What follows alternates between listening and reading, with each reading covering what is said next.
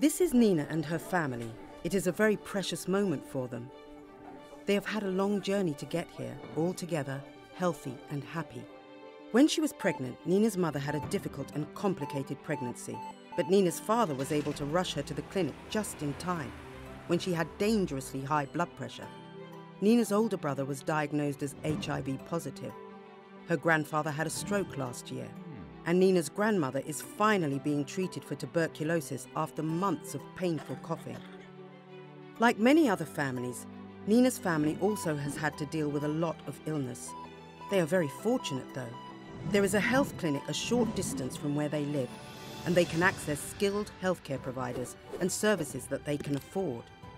In the country where Nina lives, people voted for country leaders who are committed to achieving universal health coverage by 2030.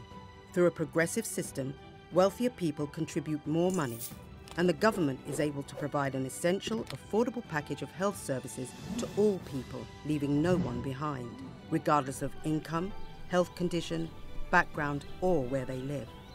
So, what looks like a simple meal is really a very special occasion for Nina's family. They had a long road to recovery, but never had to choose between getting healthy and putting healthy food on the table. And this sets them apart from many people around the world who can't afford or don't have access to essential quality health services. Every family, everyone deserves universal health coverage. Let's work together towards good health and well being for all.